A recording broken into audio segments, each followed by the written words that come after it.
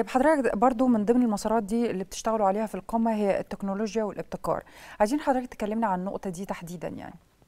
طيب إحنا في ال- خلال المؤتمر بن discuss أو من أحد ال tracks اللي حضرتك اتكلمت عنها هو ال- ال tech وال innovation أو التكنولوجيا وال- والابتكار أو الإبداع.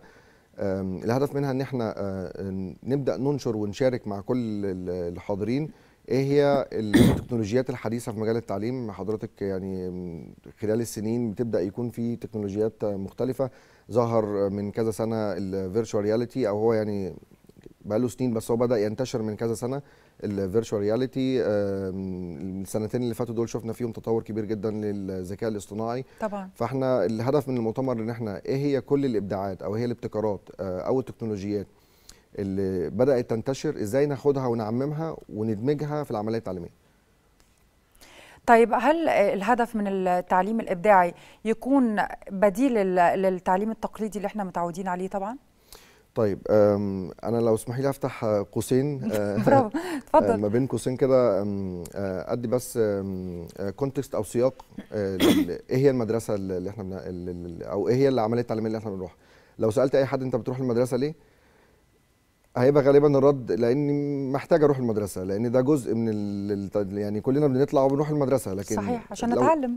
بالظبط وعلشان نتعلم. ولكن هل الشكل المدرسة اللي إحنا فيه ده دلوقتي هل ده كان طول عمرها ولا إيه ال- ال- المدرسة اللي إحنا فيها دلوقتي جت منين؟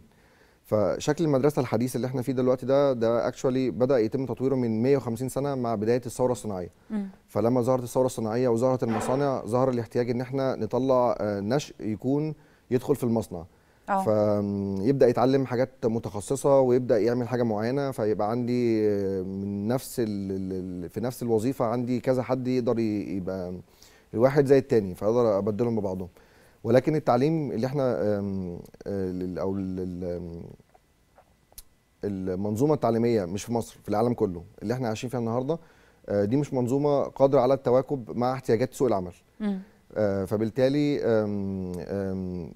التكنولوجيا هتخلي إن في وظائف كاملة هتندثر آه. وهتختفي تماما. آه. ولذلك التعليم آه، من أهم الحاجات اللي هو محتاج يركز عليها إن هو ما يبقاش تعليم بس نظامي اللي هو التعليم في المدرسة. يبقى عملي. يبقى تعليم آه، تعليم عملي تعليم إبداعي تعليم يصنع من الإنسان إنسان قادر إن هو يعلم نفسه بنفسه وإن هو ما يبقاش ويواكب التطور والتكنولوجيا اللي إحنا فيه. على على ال- ال- التعليم ال- ما قبل الجامعة أو التعليم الجامعي فقط ولكن على ال lifelong learning اللي هو يتعلم مدى الحياة ويبدأ يطور من نفسه ويصنع نفسه من جديد. مع كل تطور تكنولوجي. كل ما يتغير الم- المجتمع يغير من نفسه ويتعلم جديد آه، حاجة جديدة. صحيح. طيب لو هنروح لمسار تاني وهو المهارات والكفا- والكفاءات طبعا. يا ترى إيه المهارات المطلوبة فعلا آه، في الق- القرن 21 في القرن ال 21 أم، آه، اولا مع تطور التكنولوجيا هنلاقي ونرجع هنا لنقطة التكنولوجيا إن في وظائف كتير جدا آه، هتم الآلة هتاخدها.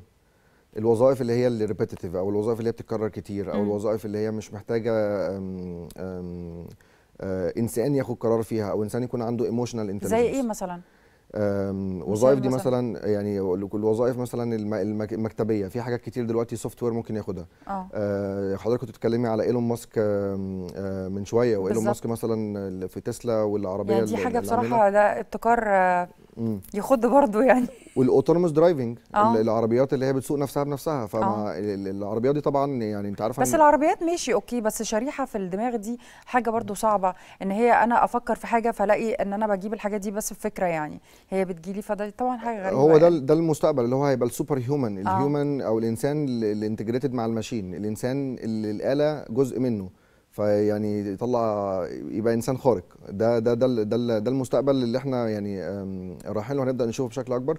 بس مثلا كمثال على الوظائف اللي ممكن تندثر هي وظيفة السواقة مثلا. السواقة آه. آه، النهارده في سواقين كتير جدا سواقين باصات سواقين آه، عربيات سواقين. لما السواقة آه، العربية كلها تسوق نفسها بنفسها. مش هنعمل حوادث دي أول حاجة. أول حاجة بالظبط لأن فهنتفادى موضوع الحوادث ده طبعا جدا سنويا يعني. حول العالم في مليون ونص يعني حوادث حالة وفاة. كتير حالة. وفاة. فطبعا لما إحنا يكون عندنا مليون ونص إنسان بيموتوا سنويا حول العالم غالبا هنضطر إن إحنا آه، الع- العربية ان تبقى هو ده الديفولت إن العربية تسوق نفسها بنفسها. آه. فدي مثلا وظيفة من الوظائف اللي هتروح. طب ال- ال- النهارده الناس اللي وظيفتهم هي السواقة هيعملوا إيه؟ محتاجين إن هم يعلموا نفسهم حاجة جديدة ويبدأوا يصنعوا نفسهم من جديد ويبدأ يتجه لحاجة جديدة. فبالتالي إحنا ودي نرجع للنقطة الأولانية إن هو مع تطور ال ال سوق العمل ومع تطور التكنولوجيا ومع تطور المجتمع عموما هنلاقي إن في وظائف بتندثر فإحنا محتاجين للأطفال من هم صغيرين يطوروا نفسهم غير يعني مع طبعا اللي إحنا بنشوفه في ال- يعني في العالم بصراحة بنشوف حاجات غريبة دلوقتي محتاجين إن هم يبدأوا يجهزهم نجهزهم إن هم يكونوا قادرين على إن هم علمياً يعني يت- نجهزهم يتعلموا تعليماً. بجديد يعني آه، إحصائية مثلا من ال World Economic Forum إن 65% من الطلبة اللي النهارده في المدرسة الابتدائية هيشتغلوا لما يخلصوا الجامعة وظيفة هي مش موجودة لسه. فده معناه إن في وظائف كتير جدا جدا لسه جديدة لسه هتخلق فبالتالي ال- ال- العملية التعليمية بدل ما تركز إنها تصنع حد بيعمل حاجة معينة هي محتاجة تصنع حد يكون مفكر. قادر على إن هو يطور نفسه من نفسه وإن هو يحل مشاكل آه. فلما نيجي بقى نتكلم على المهارات اللي إحنا القرن الحادي والعشرين بتتطلبها هي مهارات creative thinking التفكير النقدي بالظبط. أو ال critical thinking ال problem solving إن الإنسان يكون قادر على حل مشاكل. يبدع الإبداع. الإبداع ال creativity آه.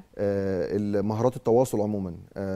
فهنبدأ هنا نعدي من ال hard skills اللي ممكن الروبوت أو ال AI يعملها أو ال- الذكاء الاصطناعي يعملها لمهارات محتاجة الانسان اللي هو آه. التواصل الفعال مهارات ال empathy أو ال human أو ال emotional intelligence محتاجين نركز أكتر على مهارات القيادة ال leadership آه. إن يكون عندنا جيل قادر على إن هو يتخذ قرارات إن هو يبدع إن هو ياخد انيشيتيف.